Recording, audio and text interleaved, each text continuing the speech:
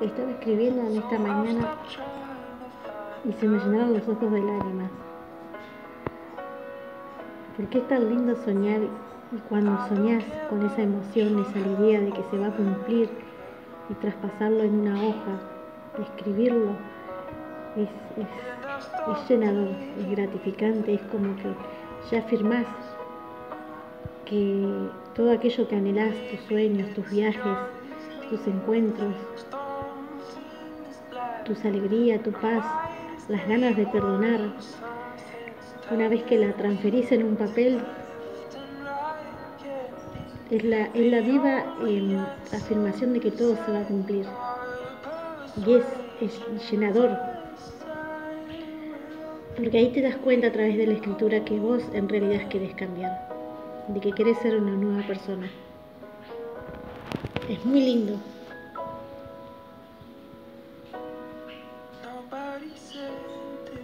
Y la escritura me ha sanado mucho. Ha hecho cosas que nadie hizo por mí.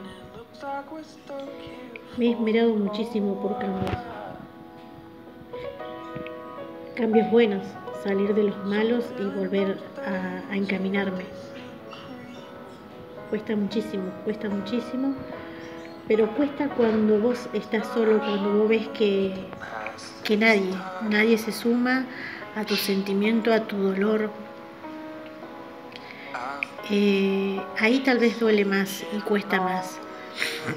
Pero cuando vos te decidís a ese cambio, a decir yo quiero salir de esto porque ya es el tiempo, porque también nos pasa de que queremos cambiar, pero a veces eh, al estar en contacto con otras personas que no te ayudan, es como que eh, no hay un 100% tuyo de que querés cambiar, entonces se mezclan, se mezclan las emociones, se mezclan eh, las dudas, el, decir estoy bien, estoy haciendo bien, pero me estoy contagiando de la negatividad de los demás. Pero bueno, también yo pienso que si no suceden estas cosas, ¿cómo, cómo cambiaríamos? ¿Cómo seríamos distintas? Eh, si no, no, tendríamos el aprendizaje necesario. Yo admiro y agradezco siempre cada aprendizaje. Respeto mucho, pero hoy, tal vez años atrás no lo hacía, años atrás criticaba, rezongaba, lloraba con bronca, no escribía casi nada. Creo que la escritura en mí eh, no es solamente ahora este año, años unos 3 o 4 años atrás, que fue que empecé a escribir gracias al minimalismo y gracias a personitas hermosas que se cruzaron en mi camino y que me enseñaron todo este cambio y el conocer lo que es el minimalismo hoy. Eh, pero fíjense en que todo eso pasa porque uno lo pide, yo lo pedí, si yo no lo hubiera pedido hubiera seguido por el camino anterior que estaba. También lo que tiene la escritura es que creo que ha nacido en mí desde chica, porque no sé si alguien lo ha hecho, si se acuerda. Antes existían los diarios íntimos que venían con un candadito. Cuando yo era de juntar o comprar o pedir que me compraran muchos cuadernitos de eso. Escribía muchas cosas, ya no sé qué habría escrito, ya no existen más. Pero me gustaba, me gustaba tener ese momento así tuviera mala letra, no tuviera una buena corrección, no tuviera, no supiera o no entendiera bien sobre los signos de puntuación o muchas cosas más. De seguro tenía eh, errores ortográficos en general, pero era mi momento de escribir, así como era el momento en que muchas veces quería orar y pedirle a Dios, ya de muy chica, ciertos cambios. Y tal vez tal vez no, sino que también, em, como digo recién, tienen que pasar estas cosas para aprender. Y muchas veces desde chica ya me enojaba, yo decía, ¿por qué si existe un Dios? ¿Por qué yo sigo así? ¿Por qué sigo viendo cosas feas? ¿Por qué sigo viviendo en este mundo que no quiero? Pero claro, todos pedimos el cambio. Cuando vos lo pedís de corazón, cuando te humillás ante eso eh, todo llega así, de esta manera. Y yo soy feliz, escribiendo hoy en día soy muy feliz, me gusta ahora en este momento estaba haciéndolo y fíjense en que no tengo gran libro. Y a veces digo, ¿cómo me encantaría tener esos cuadernos que tienen ciertas youtubers? Los Bornal, Journal, algo así, bueno, no sé muy bien pronunciarlo. Eh, tal vez porque es coqueto, es lindo ver un cuadernito así estilo libro, donde se hacen lindos dibujos. Y, pero yo digo, ¿por qué? ¿Por qué querer siempre lo que tienen los demás? Está bien que ellos lo tengan, pero ¿por qué yo querer tenerlo si, en fin, es un cuadernito el cual yo, si teniendo este cuaderno ahora, puedo llegar a comprar fibrones, lápices y empezar a dibujar y dejarlo coqueto. Pero sé que si me tomo ese tiempo para hacer eso, eh, luego lo que voy a hacer es quemar a libro, quemar ese cuaderno. Entonces sería un gasto de energía, pero fíjense, en todo, para todo tengo un pero. Pero también digo, bueno, pero fue el momento en el que yo estuve así y retracté todo en ese cuadernito y me gustó y en ese momento seguro sentí cosas lindas y por eso lo hice pero me ha sanado muchísimo, gente. Me ha sanado muchísimo la escritura y siempre digo, escriban, pero bueno, hay gente que no hace caso y quienes hacen caso ven que es cierto, que son afirmaciones poderosas las que ponemos a través de la escritura, porque van acompañadas de nuestra emoción del momento, de nuestros sentimientos. Y aparte es, es como un es como vaciar la papelera de reciclaje Claro, porque vos volcás todo lo que tenés en la mente. Luego la mente te queda como que no tenés nada en qué pensar. Estás ahí, no digo ida, pero, pero vos ya ves una paz interior, ves una, una tranquilidad. Es, es, tremendo, ¿no? Es tremendo y no le dedicamos el tiempo. No le dedicamos el tiempo. Yo me he puesto firme ahora a, a escribir. Empecé ya me voy a fijar cuando empecé, creo que el 27. Acá está. El 26. Si no me equivoco, el 26. No, no fue el 26. Y miren lo que es, porque está medio roto. Es que hace poco hice una depuración y bueno, yo dije, le arranqué ciertas hojas. Estas son ya anteriores, son, es mi trifecta matinal Acá está. El 25. Acá dice. Y escrito todo esto. Son muchas hojas. Son muchas hojas. El 25 de octubre volví a empezar a escribir de vuelta. Y sí tengo eso de que escondo mi cuaderno. No me gusta que nadie lo vea, ni siquiera mi compañero. Porque son cosas que son mías yo creo que a nadie le va a gustar que, alguien lea lo que es algo privado tuyo. Pero sí una amiga me dijo una vez, eh, Emi, si alguien llegase a encontrar tu cuaderno, si vos escribís cosas buenas, yo creo que lo que vos vas a hacer es incentivar a la otra persona y la otra persona te va a conocer más y se va a motivar y vas a saber quién sos en realidad. Y sí, no está mala la idea, no está mala la idea, está bueno eso, es muy cierto. Pero claro, a veces uno tiene ese, ese, no sé si sería pudor, pero ese miedo a que alguien sepa qué es lo que vos sentís, porque a veces em, hablamos poco. Hablamos poco y no hacemos nada, o a veces eh, hacemos mucho y hablamos, eh, no, perdón, al revés.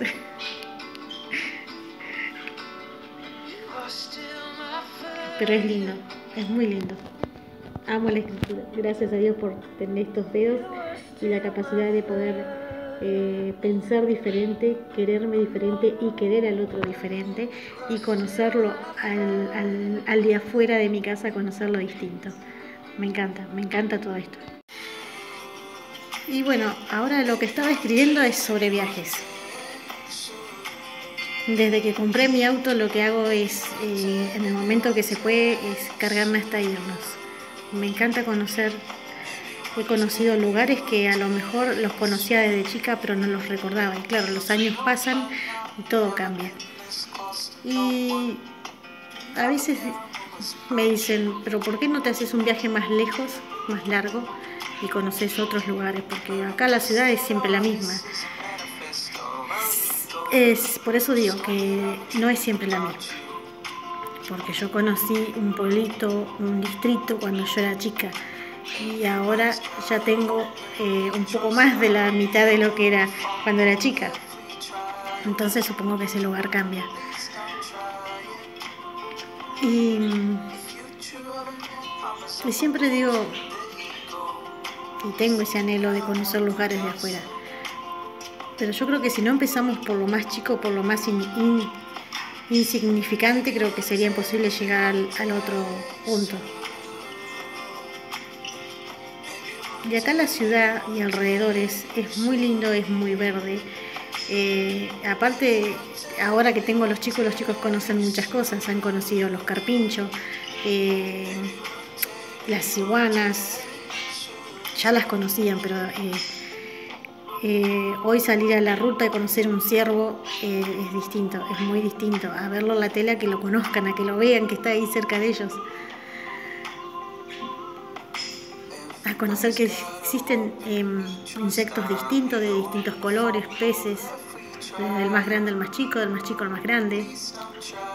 De ir al río, poder tocar las piedras, jugar con la arena. es todo muy distinto. Y, siempre anhelé tener un auto, siempre lo quise. Me acuerdo cuando era adolescente soñaba de noche que iba en una ruta y que manejaba. Qué bárbaro. Y a veces decimos, ¿por qué esperamos tantos años? ¿Por qué tantos años para luego llegar a ser más grande y tenerlo recién ahora cuando lo podíamos tener antes?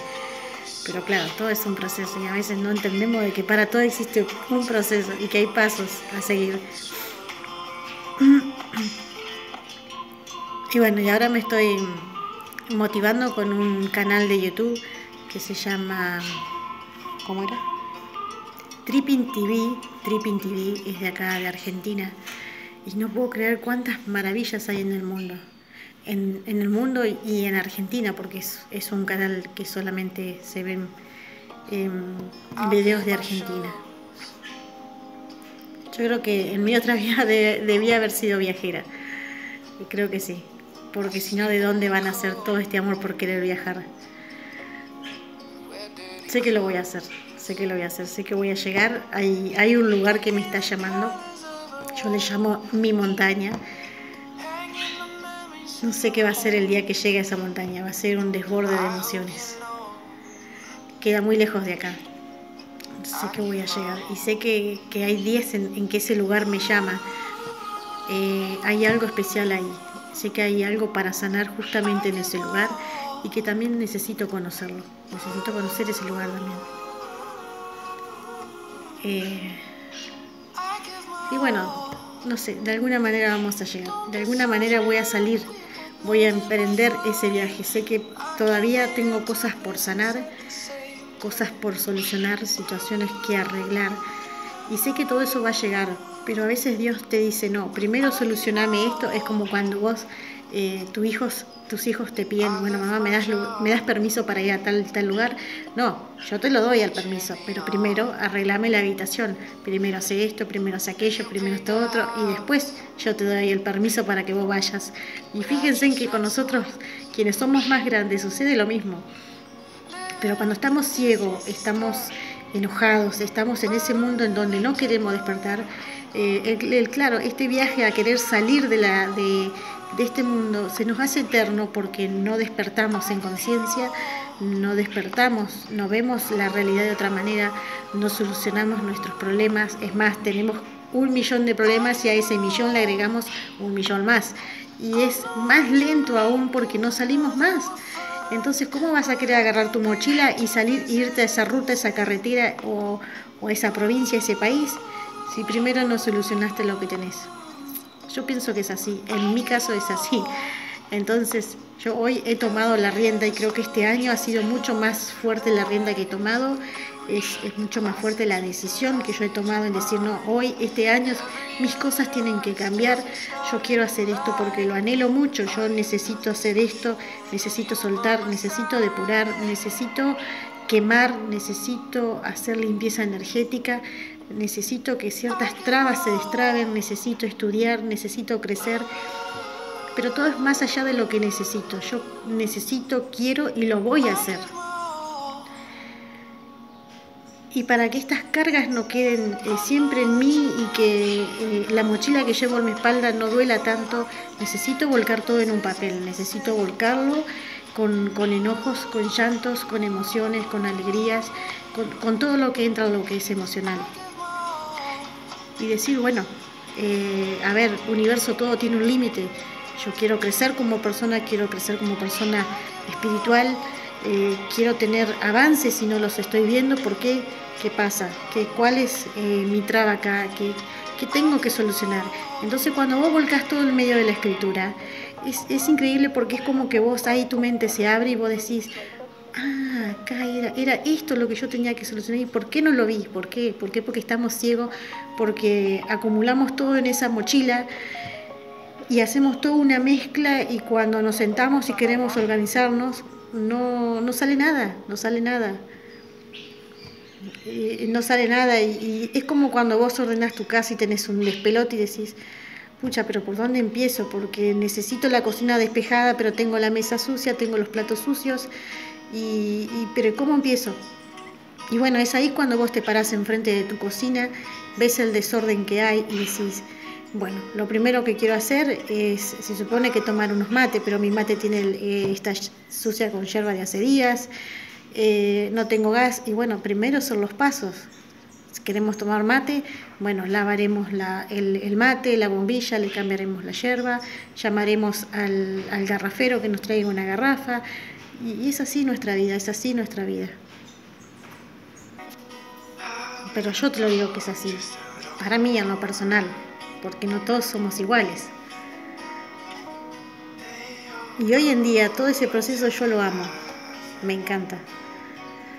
Y cuando veo a otra persona que tiene tanto despelote y, se pregunta o, me dice, viste, me pasa esto y aquello y no sé cómo hacer y yo digo, por Dios, yo tengo la respuesta.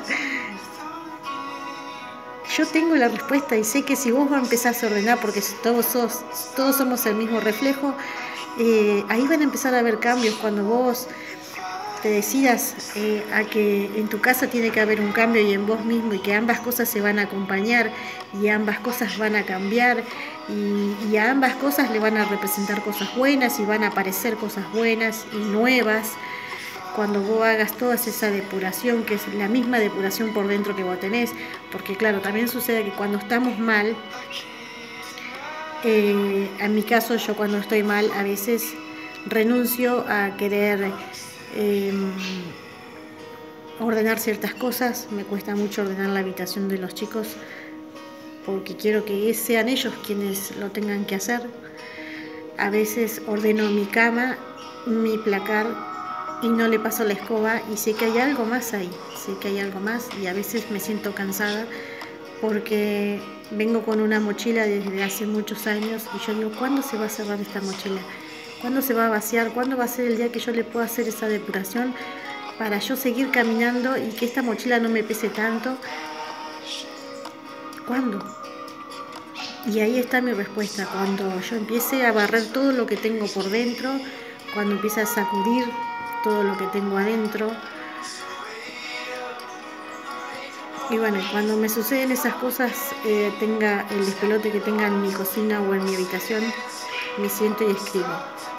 Y cuando empiezo a escribir es como que ahí me limpio y yo digo, bueno, eh, me nace capaz que sin darme cuenta en ir y barrer mi pieza, en agarrar y lavar los platos, que no tengo muchos, pero bueno. Ir y limpiar mi heladera, porque a veces la veo que está sucia y no, como veo que mi mesada está despejada y limpia, mi heladera queda ahí en espera. Pero claro, tengo que también repasarla. Y bueno, así pasa con todo, gente. Es así. En mí, en lo personal, es así. No sé en vos. Pero creo que no hay mucha diferencia.